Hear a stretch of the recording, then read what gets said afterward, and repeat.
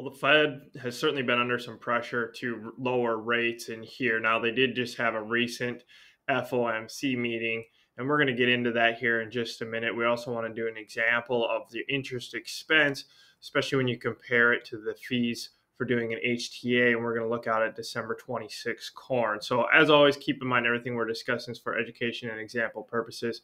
Make sure you guys understand and know your own risk tolerance as we go through the information like I said, that last FOMC meeting uh, was on July 30th, and the Fed decided to leave the Fed funds rate unchanged at between four and a quarter to four and a half percent. This is the fifth consecutive meeting that they've left this unchanged, and essentially, this is just your overnight rate that banks can lend money to each other.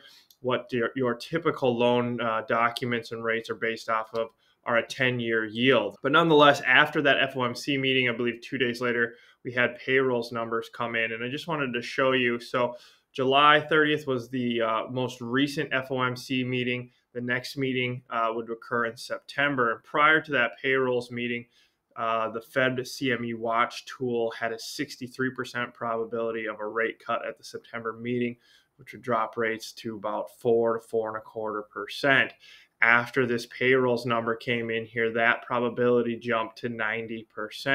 And obviously, that was due to the heavy revisions that we saw in the payrolls data. Now, this is your 10 year uh, Treasury note yield. So, this is again what most of the retail uh, interest and loan uh, rates are based off of.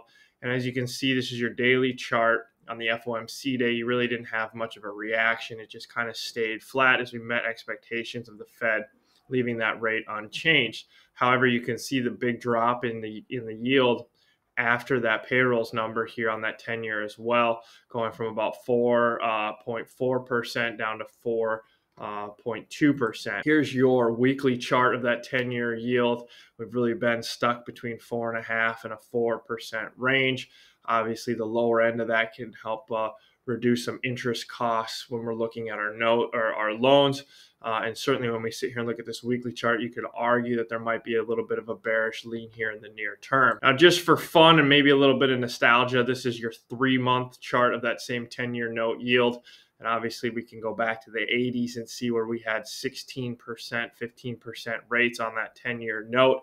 And when you factor in that spread of maybe 2 or 3%, that's how you get those 18 to 19% interest rates. What I think is interesting about this chart and where a lot of people in this market um, you know, are, are conflicted is the fact that historically rates are still rather low. If we do get into more of an inflationary environment, you can certainly see where this rates have potential to come in higher. However, given some of the recent data and economic uncertainty, I think the, the lean is more to the lower side. So as we get into our example, we want to just look at HTA fees compared to the interest cost if you were to hedge using the board. And we've been talking with some producers about going out and beginning to look at uh, um, hedging bushels for the December 26 contract. And what we're hearing is somewhere between six and eight cents for an HTA fee that far out. We went with seven cents a bushel, which over a 14 month period comes out to about $350 in interest costs. Now, when we go to doing something like this, maybe on the board and using a hedging line of credit, we're going to figure an 8% interest rate uh, for that same 14 month period. We're going to budget $2,000 against your line of credit. What that basically boils down to is $770 in initial margin, and then another like uh, 1230, I believe, uh, for some margin excess, which equates to about a 25 25 cent move uh, in the corn market to give this this hedge a little bit of breathing room. But nonetheless, when you take that 8% on the $2,000 uh, line of credit, you'd be at about $187 for that same 14 months or about four cents a bushel. Obviously, depending on who your broker is or what you're using, there's going to be some commission and exchange and transaction fees with that. So you might figure an estimate about five and a half cents a bushel or about $275 for that um, 14 months. I think what's important to point out here is that these are just the numbers that we got to give you to help you make a more informed decision. Ultimately, the correct choice is the one that's best for you, but you can see where uh, the the elevator who is carrying the risk of the futures contract might need to uh, charge a bit of a higher fee because at the end of the day, even though we have budgeted two thousand dollars and twenty five cents uh, worth of room on the corn market, there is no guarantee that this market won't go higher um, you know, from from your initial hedge. So just kind of keep that in mind, you know, as you're looking at this.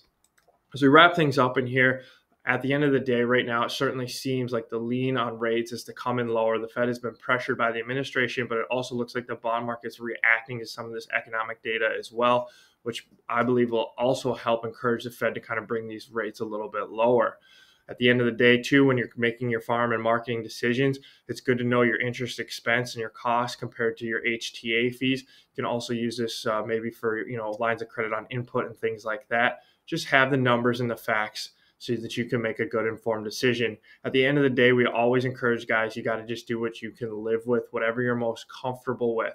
For us we feel that it's more important to make an informed decision that helps you capture the value overall of a of a hedge in the future. So, example, if you 470 is profitable, for us, it's much more important that we get that value locked in rather than splitting hairs between whether you do it in a hedge account or an HTA. That's going to vary person to person, and it's up to you to make that decision. Again, we just want you to have the numbers. If you guys have any questions, feel free to reach out to us. We're more than happy to help. As always, like the video, subscribe to the channel. We always enjoy making the content for you.